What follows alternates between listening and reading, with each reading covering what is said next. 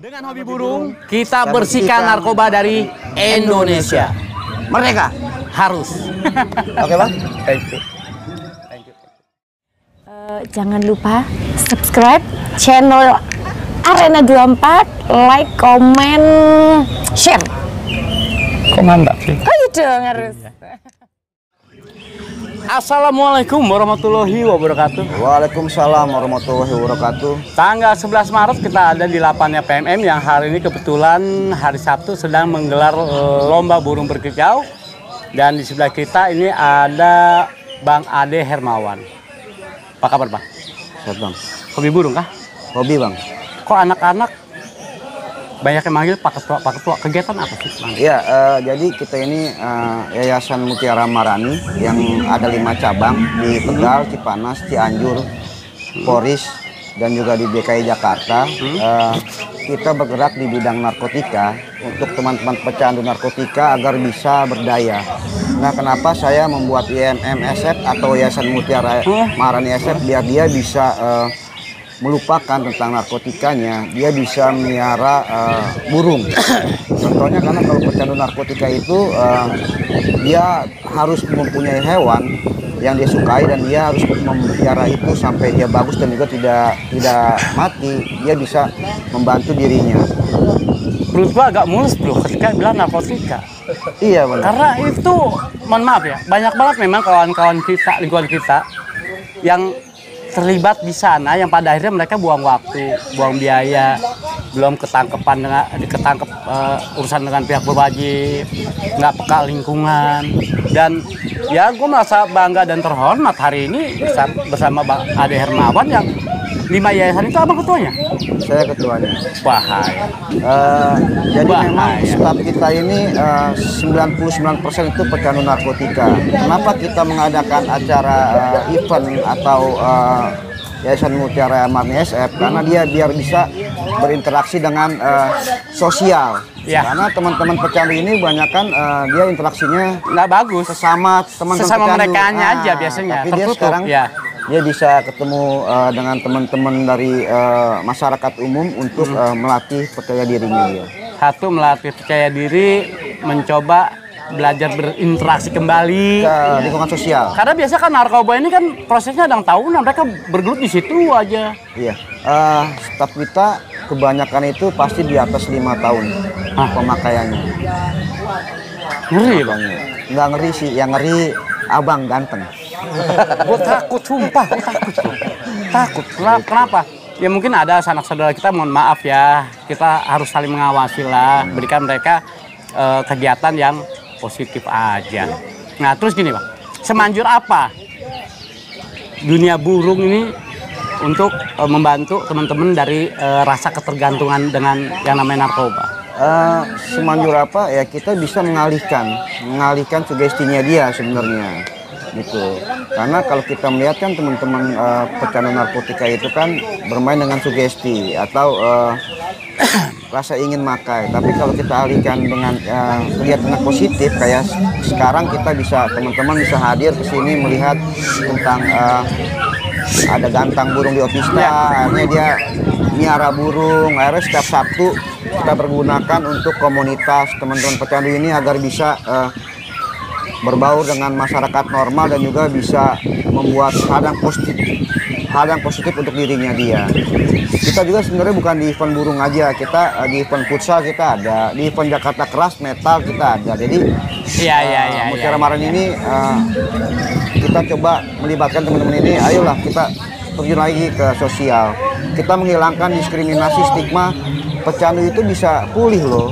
Dulunya teman-teman ini sampah masyarakat, tapi saat ini teman-teman adalah sampah yang bisa didaur ulang dan juga bisa bermanfaat untuk untuk masyarakat sekitarnya, terutama murai. Main murai asik ya. Asik. Hari ini bawa murai. Alhamdulillah saya tim saya bawa tiga murai. Itu settingan pecandu narkotika. Kalah menang urusan besok yang penting kita bisa berbaur dengan teman-teman Tapi, sosial tapi masyarakat. menang nggak hari ini? Tergantung burungnya bang, bukan tergantung saya. Hasilnya udah dapat berapa belum? Kalau ke mana-mana sih kita udah dapat bang. Itu ada yang juara dua, ada yang juara harapan, harapan palsu kita. Iya, Yang iya. penting kita Iya. eh, positif aja sih. Iya, karena memang tujuannya berbeda. Jadi dalam arti kata begini, Bro. ya kan, bahwa dunia hobi apa pun itu ketika kita betul-betul menjalankannya untuk asas yang bermanfaat, ternyata bisa eh, untuk hal yang lainnya ada. Iya. Ada hal yang lainnya yang kita bisa dapatkan di situ bukan hanya dari sekedar lu gantang burung, beli burung terus juara, lu rawat burung, punya penangkaran terus juara. Ternyata Bang Ade Hermawan ini membuktikan bahwa komunitas lomba burung apalagi murai itu bisa menjadi terapi Bener bang. Contoh gini bang. Sekarang biaya sabu aja 300 ribu ya. Kita beli paket hemat 300 ribu atau 500 ribu. Tapi teman-teman dengan duit 5 ribu perak dia bisa beli kroto. iya sih Hmm, Iya kan? bisa untuk lebih yang positif lagi Ini lah positif. Tadinya dia beli narkotika tapi 5 ribu perak dia dari pagi dia beli kroto, dia beli jangkrik, dia ngasih makan burung. Tadinya dia lupa dengan dirinya. Karena pecandu itu hanya dua.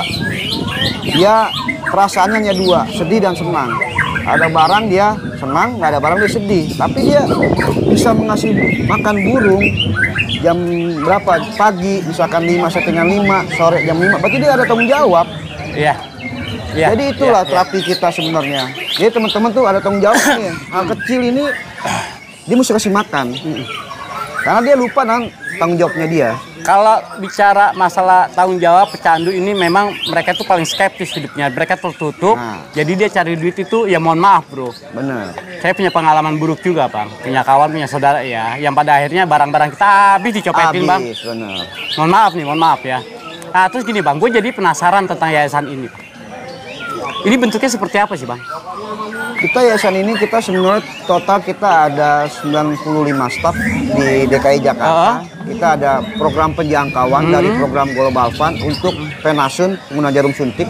Kita Iya. lebih bermain dengan eh, pihak layanan kesehatan untuk mengakses layanan kesehatan. Iya. Ada 26 staf, kita juga ada di Lapas Rutan, Cipinang, Salemba untuk eh, rehabilitasi medis dan sosial. Dan juga kita ada rehabilitasi sosial di Cianjur dan di Tegal. Jadi kita banyak eh, devisi-devisi yang kita lakukan. Nah, eh, kita membuat grup juga di Yayasan Mutiara Mani SF. Ya, kita mengajak teman-teman ya apa ya untuk bermain burung atau bermain band atau futsal. Jadi kita ada beberapa grup di Yayasan Mutiara Marani. Besar ya bang. Kalau besar itu punya Tuhan, Bang. Kita besar sekali gitu. Besar aja. Besar aja. Terus begini bang, nah, Ade ya. Itu eh, mohon maaf ya, yang yang memanfaatkan jasa layanan kita katakanlah, adakah keluarga yang tahu punya anggota keluarga kecanduan terus diserahkan ke kita, atau memang katakanlah kita ada konseling dari ya tadi pihak lapas, dari pemerintahan setempat. Oh ini ada yang kecanduan terus diserahkan ke kita, atau bagaimana?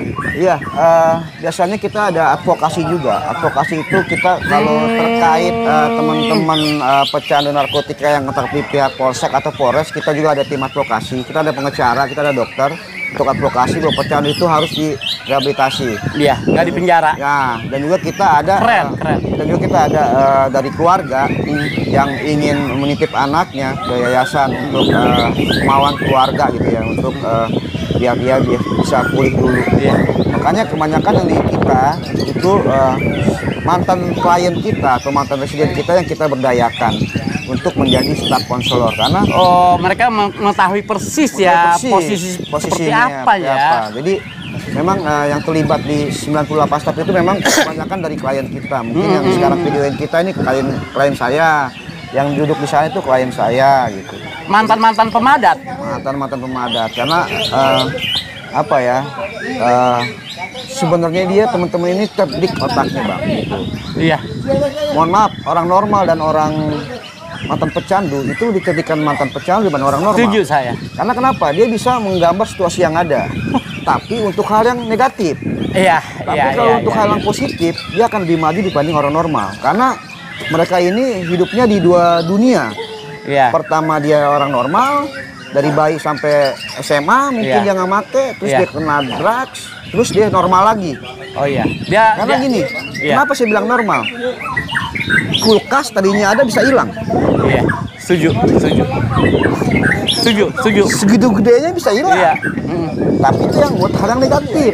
Tapi Iya. kalau untuk yang positif, kita di yayasan kita ini apa sih yang kita mau bikin proposal ke mana sih untuk Iya. Hani? Jadi kita bisa berpikir untuk yang positif. Iya. Gitu. Makanya saya bilang teman-teman ya kita ini bisa menggambar situasi yang ada, tapi untuk yang yang positif kita akan lebih maju. Ketika dia masih menjadi pemadat, ketika dia masih kecanduan, itu otaknya paling kreatif betul mereka mereka kreatif, Bang. Bagaimana narkoba yang mahal ini pada akhirnya bisa dia beli Benar. berbagai macam cara kreatif itu. Kreatif. Contoh bang. Tapi untuk hal yang negatif, Nah, contoh. Contoh kita lihat sales, sales Marlboro, rokok, dia cantik, Iya. Pakai shadow, roknya pendek, Iya. bawa produk, Mm-mm. belum tentu laku bang. belum tentu laku. Pecandu nih modal speed, baru bangun tidur, belum mandi, putus duit. Dapat duit. Kan pinter, tapi untuk hal yang negatif. Makanya kita di sini mencoba mindset teman-teman, ayolah kita tunjukkan ke masyarakat bahwa kita sebenarnya semua orang nggak mau jadi pecandu bang. Iya. Karena takdir Tuhan itu nggak ada. Iya. Ade Hermawan akan menjadi pecandu narkotika karena coba-coba. Pecandu. Saya pecandu bang. 98 Krismon itu saya mau direhabilitasi Permadi Siwi. Makanya mau kalau dibilang abang masnya satu umuran tapi kan mudahan saya. Iya. Iya. Abang umur tahun, tahun berapa bang? Saya 75. Oh saya 81. Beda dikit lah.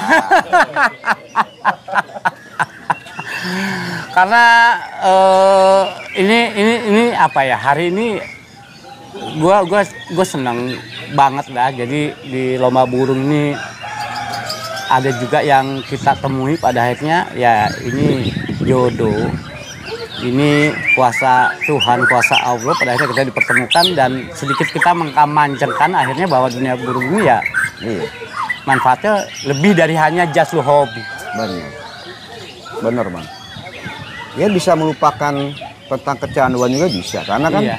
Kesibukannya itu saya bilang tadi. Pagi dia mesti masih makan, sore dia tadi kan dia boro-boro pagi dia ngasih makan jam kelima Oh nggak ada itu. ngambil sabu Ini sabu. iya kan Maka tidur yang ngayal deh. ngayal ya kan wah burung gua nggak makan nih ntar ntar kurang gacor nih udah dah gua kasih makan burung dulu contoh begitu bang Ini ngeri banget, ngeri banget, ngeri banget dalam arti kata apa ya? Ya itu, kalau kita bicara teman kita, saudara kita yang yang eh, kena narkoba, itu suatu mimpi buruk Iya, untuk benar. yang normalnya. benar bang Karena ya kalau lagi kecanduan saudara kita, ya dia dengan dunia sendiri dan jangan kita kucilkan tuh, jangan kita omelin apalagi sampai yang eh, Iya.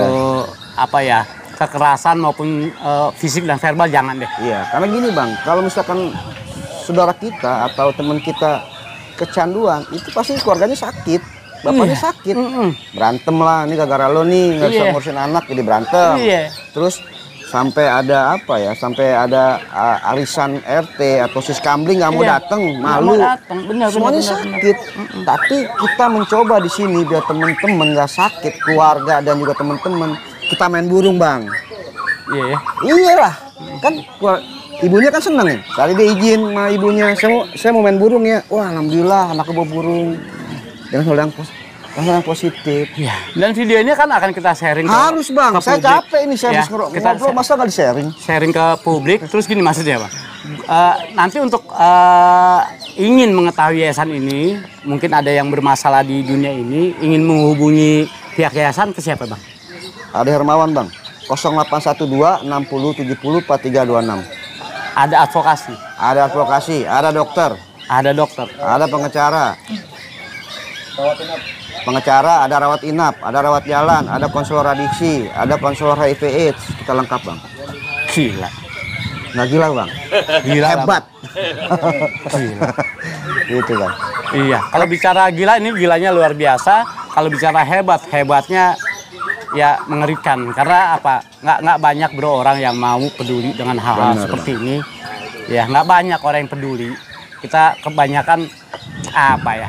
Kebanyakan ketika orang berbuat eh, positif, kebanyakan digibahin yang nggak bener nggak benernya sebetulnya. Itu udah udah netizen banget. Tapi apa yang dilakukan oleh Bang Hadir Mawan ini gue salut, gue luar biasa selain selain dia bisa memberikan pengalamannya edukasi pada teman-teman ini tentunya ya hanya Allah yang tahu dan hanya Allah yang akan bisa membalas itu hanya Tuhan yang bisa membalasan eh, apa yang sudah dilakukan Bang Ade Hermawan dengan tim yang lain. Walaupun itu bukan hal yang mudah Benar bang. Ya itu proses yang saya saya sendiri ya, saya pribadi sendiri itu proses dis- di, apa stigma diskriminasi Iya. saya aja itu cukup panjang. Iya.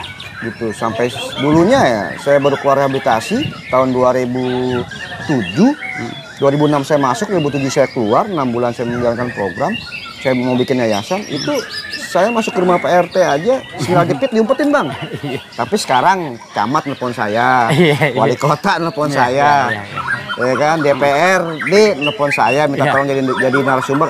Itu kan stigma diskriminasi yang Iya. harus kita lewatkan. iya dan itu proses Proses. ya kita rehabilitasi di sini dalam arti kata kita bukan hanya membersihkan tubuh kita dari kecanduan itu tapi membersihkan nama kita yang sudah tercemar di lingkungan Iya. itu yang paling berat Berat, sebetulnya karena gini bang, kita sudah membohongkan masyarakat sekitar 20 tahun. iya Kita menjadi sampah masyarakat. Di 20 tahun, kita baru enam bulan kita mau dipandang, itu Iya. kayaknya jauh. Sama aja sih bang, semua kayak butuh proses, kayak burung lah, mabung, Iya. dokor. Iya, iya, Eh, iya, iya. Sama kayak pecandu juga sebenarnya. Terus pesan-pesan yang abang ingin sampaikan dalam video ini sebagai penutup perjumpaan kita hari ini bang, apa untuk para teman-teman yang mungkin belum ketahuan tapi sudah coba-coba narkoba atau untuk keluarga yang punya anggota keluarga yang sedang kecanduan, apa bang pesannya untuk mereka? Ya pesan saya sih untuk teman-teman yang masih menggunakan zat itu pilihan, tapi eh, kita melihat eh, rugi dan untungnya gitu. Kita makan narkoba itu apa sih ruginya? Uang habis, masa apa ya, waktu juga terbuang gitu kan.